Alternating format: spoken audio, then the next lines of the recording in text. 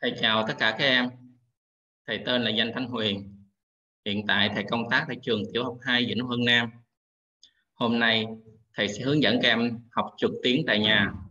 Môn lịch sử lớp 5, bài 1.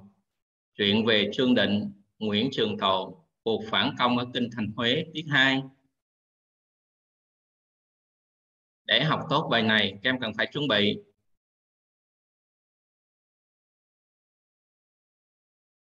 Thứ nhất là sách hướng dẫn học môn lịch sử và địa lý lớp 5. Thứ hai là bút mực, bút chì, vở, tranh, ảnh, các thông tin về vùng về ông Nguyễn Trường Tộ. Tiếp theo, em mở sách hướng dẫn ra trang số 3. Chúng ta sẽ tìm hiểu mục tiêu của bài này. Đối với bài này, thứ nhất là các em phải nắm được, phải trình bày được những đề nghị canh tăng đất nước của Nguyễn Trường Tồn và kết quả của những đề nghị đó. Thứ hai, nhận xét được tinh thần yêu nước của các nhân vật lịch sử trong bài. Đấy là hai mục tiêu các em cần phải đạt được qua bài học này. Tiếp theo là chúng ta sẽ sang các hoạt động cơ bản ở hoạt động cơ bản chúng ta tìm hiểu hoạt động số 3 là khám phá những đề nghị cánh tăng đất nước của Nguyễn Trường Tộ. Ở hoạt động này, đầu tiên là các em sẽ đọc thông tin trong sách trang 65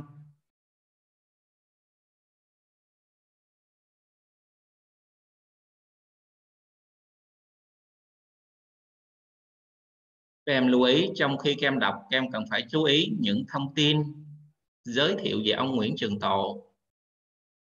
Chẳng hạn như ông quê ở đâu, rồi ông sang Pháp vào năm nào, rồi ông sang Pháp để làm gì?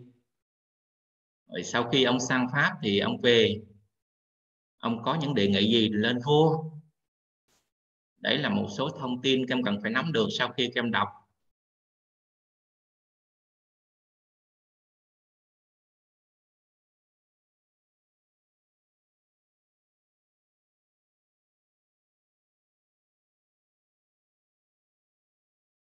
Các em ơi các em đọc thông tin xong chưa? Thầy tin là các em đã đọc thông tin xong rồi. Vậy sau khi các em đọc thông tin rồi các em hãy cho thầy biết này à, bảng điều trần có nghĩa là gì? Canh tăng có nghĩa là gì? Rồi để trả lời câu hỏi này thì các em cũng đọc trong sách là ở cuối trang số 5 là có chú giải về hai từ này.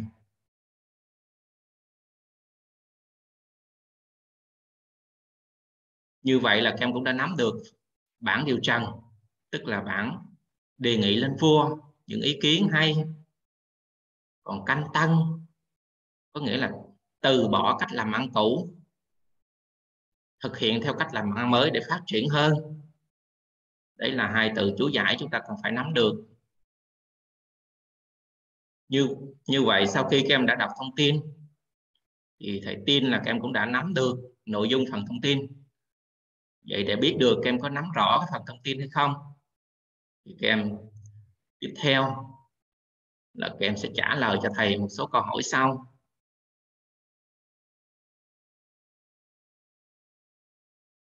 Câu 1 em chọn đáp án đúng.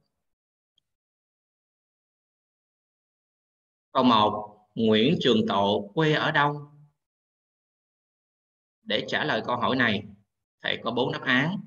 A. Thanh Hóa, B. Hà Tĩnh, C. Nghệ An, D. Thái Bình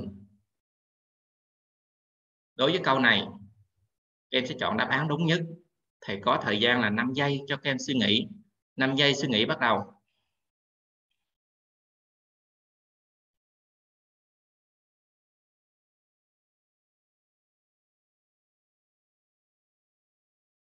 rồi, đã hết thời gian các em đã có câu trả lời chưa? Thầy tin là các em đã có câu trả lời rồi. Vậy các em hãy đối chiếu câu trả lời của các em với đáp án của thầy nhé. Vậy, ông Nguyễn Trường Tộ quê ở Nghệ An. Rồi, thầy cũng xin chúc mừng. Những em nào đã có câu trả lời đúng? Rồi, chúng ta chuyển sang câu thứ hai.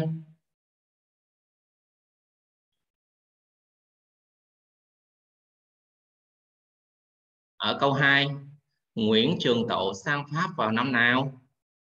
Đối với câu nào thầy cũng có bốn đáp án. A 1850 B 1860 C 1870 D 1880 rồi câu này thầy cũng có thời gian là 5 giây cho các em suy nghĩ. 5 giây suy nghĩ bắt đầu.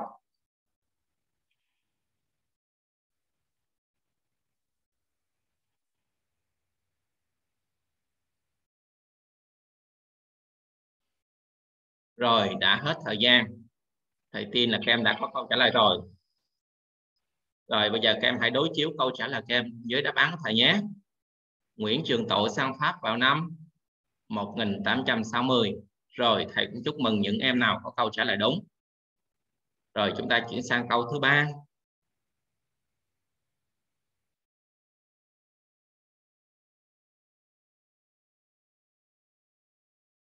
Vì sao Nguyễn Trường Tộ lại được gọi là trạng tộ tương tự, thầy có bốn đáp án. A, vì ông thông minh. B, vì ông thông minh hiểu biết hơn người. C, vì ông có tinh thần yêu nước. D, vì ông văn võ song toàn. Rồi, câu này thầy cũng có 5 giây. Cho các em suy nghĩ. 5 giây suy nghĩ bắt đầu.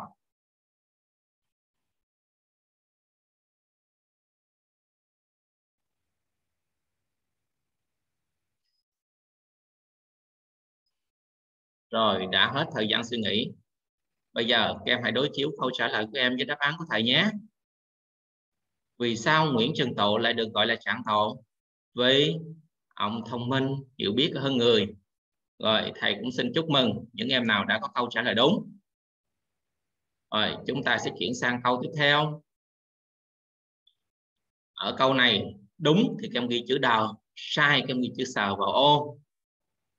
Câu 4 Nguyễn Trường Tộ sang Pháp để làm gì? A. Để học tập, giao lưu văn hóa nhằm gắn kết tình hữu nghị giữa hai nước. B. Quan sát, tìm hiểu sự giàu có và nền văn minh nước pháp. C. Thương lượng với pháp, trả lại ba tỉnh đông nam kỳ cho nước ta. D. Để tìm cách đưa nước nhà thoát khỏi cảnh nghèo đói lạc hậu. Đối với câu này thì cho thời gian kêu là 10 giây suy nghĩ. 10 giây suy nghĩ bắt đầu.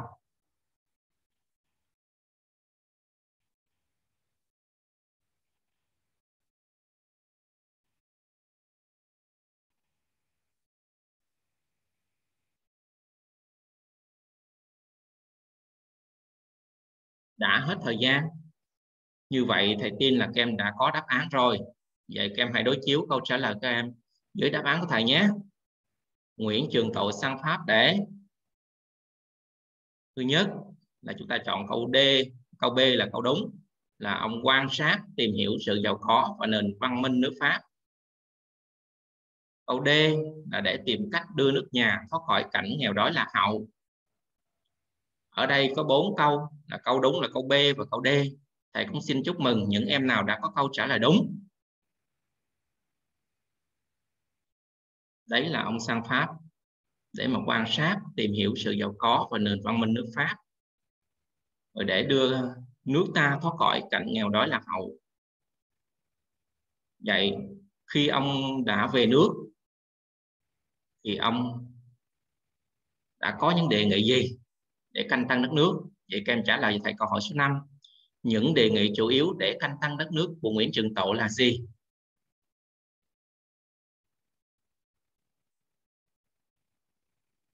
Các em dựa vào phần thông tin mà chúng ta đã đọc. Thì chúng ta trả lời câu hỏi này.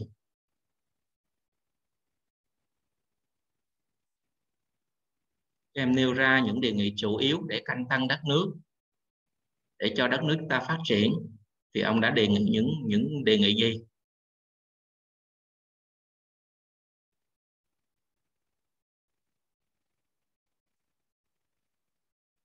Các em ơi, các em đã có câu trả lời chưa?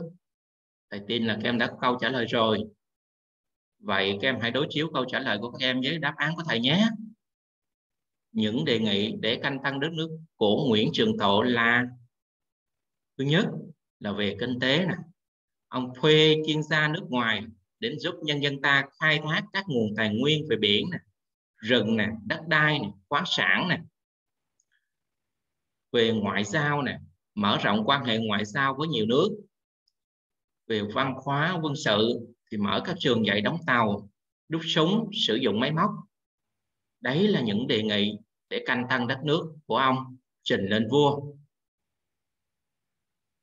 Tiếp theo, các em trả lời cho thầy câu hỏi số 6 theo em, qua những đề nghị nêu trên, Nguyễn Trường Tộ mong muốn điều gì?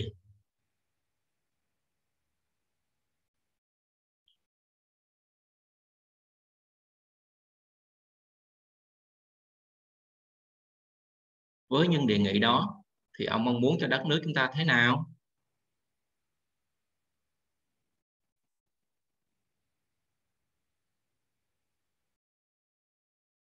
Thầy tin là các em đã có câu trả lời rồi. Vậy các em hãy đối chiếu câu trả lời của các em với đáp án của thầy nhé. Qua những đề nghị như nêu trên, cho thấy là Nguyễn Trường Tộ là mong muốn cho đất nước giàu mạnh xóa bỏ lạc hậu đói nghèo đấy là ông mong muốn như thế. Rồi chúng ta chuyển sang hoạt động tiếp theo. Vì sao những đề nghị canh tăng đất nước của Nguyễn Trường Tộ không được vua tự đức và triều đình chấp nhận? Theo các em là vì sao nè?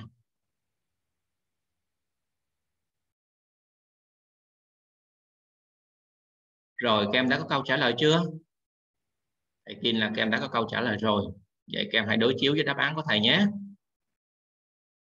Vì theo vua tự đức, phương pháp cũ đủ để điều khiển quốc gia rồi. Đấy là vì vua đã sử dụng phương pháp cũ để mà quản lý, để mà điều hành đất nước, là không nghe theo những đề nghị canh tăng đất nước của Nguyễn Trường Tộ chúng ta chuyển sang hoạt động tiếp theo, chúng ta quan sát hình ảnh sau để biết được bối cảnh nước ta trong giai đoạn đó. Kinh tế chủ yếu là nông nghiệp. Cuộc sống của người dân thì rất là cực khổ. Đấy, con trâu đi trước, cái cày đi sau. Và chúng ta biết thời điểm đó thì sản xuất thì thủ công quy mô thì rất là nhỏ. Vũ khí chiến đấu thì rất là thô sơ. Còn vua thời điểm đó thì nắm toàn quyền quản lý đất nước. Vì thế những đề nghị canh tăng đất nước của Nguyễn trường Tàu là không được vua chấp nhận.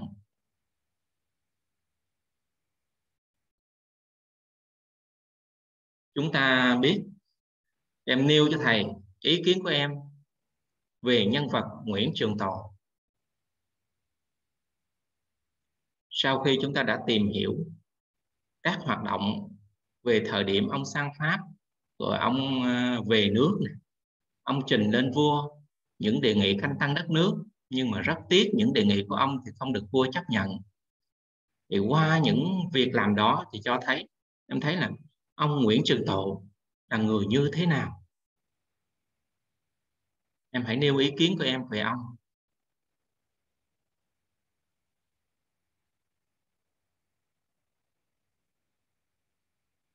Rồi, các em đã có câu trả lời chưa? Bây giờ các em hãy đối chiếu câu trả lời của các em với đáp án của thầy nhé. Nguyễn Trường Thọ là một người giàu lòng yêu nước. Ông luôn nghĩ cho dân, cho nước muốn tìm cách làm cho đất nước giàu mạnh. Nhưng tiếc thay, những đề nghị canh tăng đất nước của ông không được chấp nhận. Đấy, chúng ta thấy ông rất là yêu nước. Đất nước chúng ta trong giai đoạn đó rất là khó khăn. Ông đã bắt đầu sang pháp để tìm hiểu, để học hỏi cách làm ăn ở nước pháp. Rồi sau đó ông về nước, ông trình lên vua những cách làm làm ăn để cho đất nước phát triển. Nhưng mà những đề nghị của ông thì không được vua chấp nhận.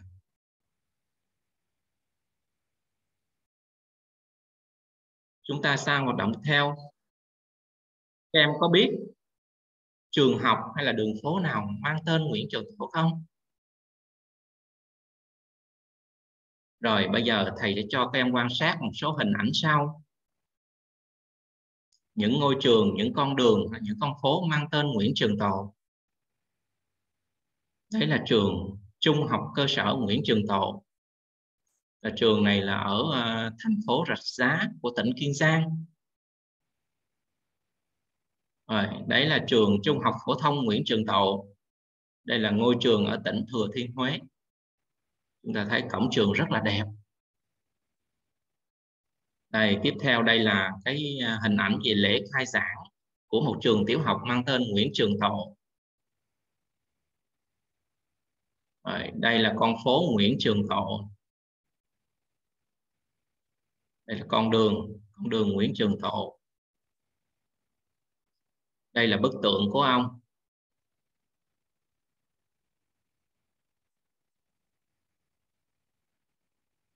Như vậy các em thấy nè. Với những tượng đài nè, những ngôi trường nè, những con đường mang tên Nguyễn Trường Tộ trên đất nước ta hiện nay, cho thấy người đời sau rất kính trọng ông. Những mong muốn canh tăng đất nước của ông đã và đang được đảng nhà nước thực hiện rồi các em ơi tiết học chúng ta đến đây kết thúc rồi về nhà các em chuẩn bị tiết học sau là tiết 3 là các em tìm hiểu về cuộc phản công ở kinh thành Huế do Tôn Thất Thiết lãnh đạo. Rồi, thầy chúc các em chăm ngoan học giỏi. Thầy chào tất cả các em.